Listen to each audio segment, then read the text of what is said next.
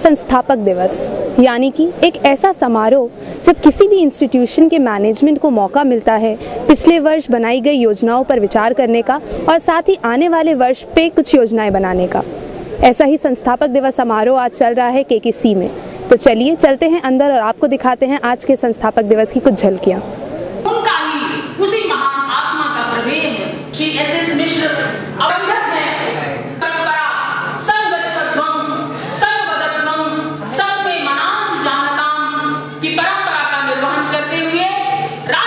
bahu tanpa istah.